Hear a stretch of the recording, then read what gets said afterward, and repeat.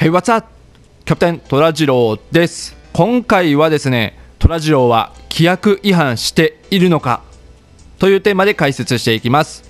まず質問を読み上げます。トラジローさんはじめまして、いつも動画を楽しく拝見しています。今回は14の動画のことで最近モヤモヤしていることがあり質問させていただきます。私は14関係の動画を攻略情報やあるあるネタ、PLL の切り抜き、固定の笑い話などを YouTube でいろいろ見ることが好きなのですが、その時動画の BGM に14以外の音源を使っているのを聞いてしまうとすごくもやっとしています。しまいます。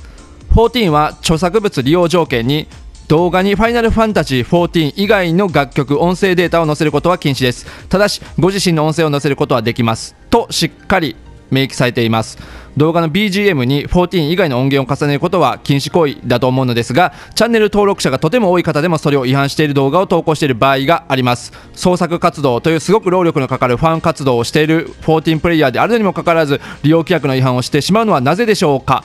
こういう場合違反している動画を見つけたら通報すべきなのでしょうか動画という媒体で不特定多数に発信する以上過去特に初心者向けの動画など規約を守ったものを創作してほしいと思いすごくモヤモヤしますトジョーさんの動画は最近見始めましたのですが規約に沿った動画を投稿していられてとても安心して楽しく見れますよければご意見をいただければととても嬉しいですこれからも活動頑張ってください長文失礼しましたこちらにお答えしたいと思います。で最近では、まあ、VTuber の方もすごく増えてこの14自体を配信する方がすごく増えているので、まあ、こういった問題もね大事かなと思うので、えー今回取り上げさせていただきたいと思います。そこで今回お話しするテーマはこちら。規約の種類は2つ。聞いてみた結果現状暗黙の了解。この3つのテーマでお話しします。まず規約の種類は2つということですがまず YouTuber というクリエイターとして14を配信する上で守る規約は2つあります。それは14内の規約と YouTube の規約です。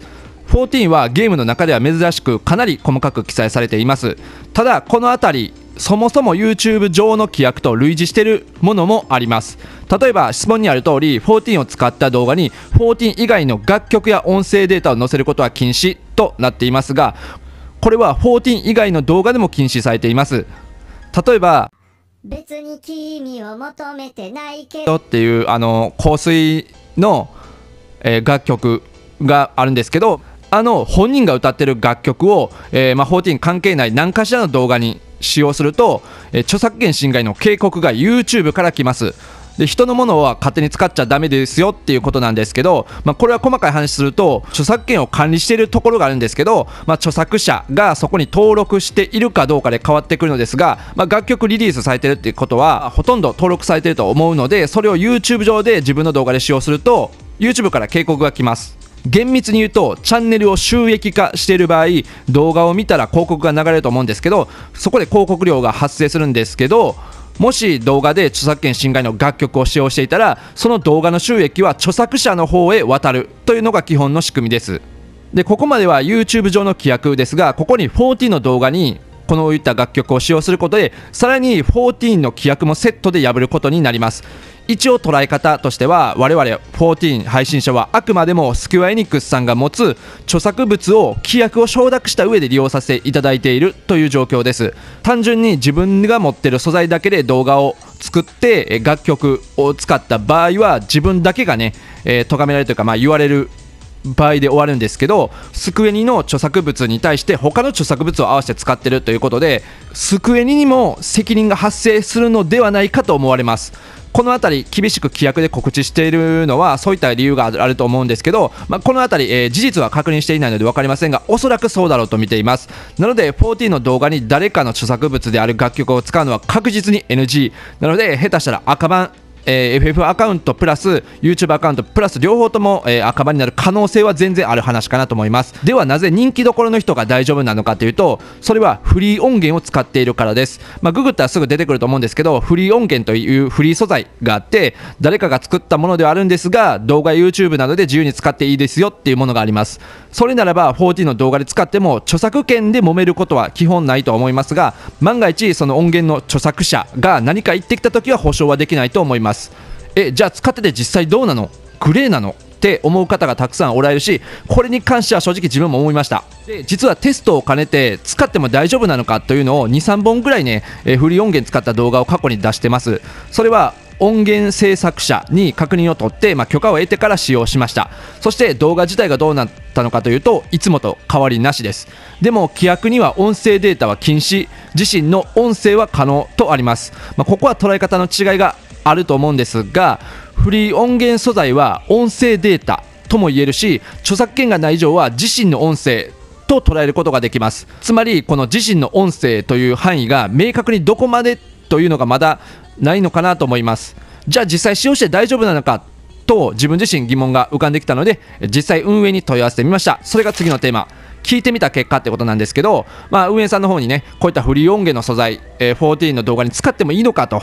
質問を送ってみたところ、えー、答えが返ってきました、えー、結論から言うと自身の判断に任せるでした。は。つまり運営からははっきりと言えないので自身に任せると。で何かあった時は対応しますよといったことです。でということは規約に違反しない限りはセーフとも取られるわけです。正直この辺曖昧だなと思うところはありましたが自分の考えとしては何かあった時がまあ面倒っていうのと、えー、14の BGM が40関連の動画で使用する際にほとんどがフリーなんですよね。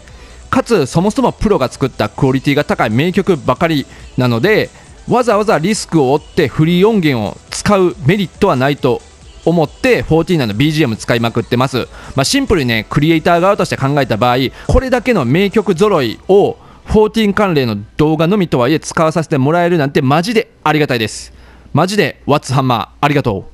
そして3つ目のテーマ現状は暗黙の了解ということですが、まあ、実際のところ現状はどうなのかというと有名な人が動画でフリー音源を使用して、えー、それが伸びているということは現状はそれが正解だと思います。よって質問者さんが通報したところで正直ねあんまり意味ないと思います。ただもし今後例えば、えー、吉田プロデューサーが14の動画でフリー音源も使うのは NG と告知をして規約を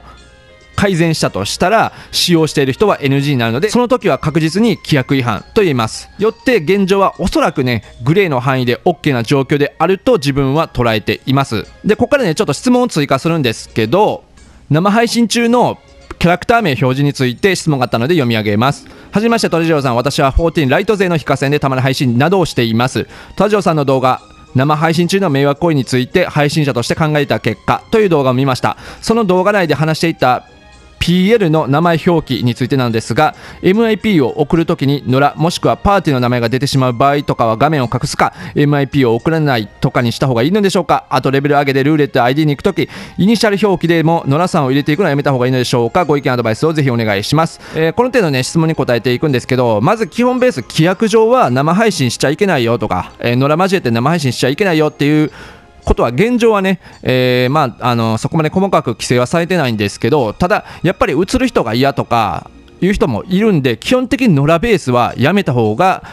まあ、自分の中で無難かなと思っています。ただ正直ねちょっとね YouTuber 目線でね、えー、話すんで、まあ、何を偉そうに言ってんだっていうふうに思われるかもしれないんですけど、えー、正直ね生配信する上で野良関係例えばルーレとか企画としては正直あんまり見る人が少ないんですよね。正直あんまりその配信するかメリットがねそこまでないのでしかも最近ではその野良の人交えた時にやっぱあの生配信の問題がね最近プレイヤー名前表記するしない。えもしくは映ってるだけで晒し行為になってしまうっていう風に捉えてしまう人がいるんでぶっちゃけねあんまりメリットがないんでこの辺り生配信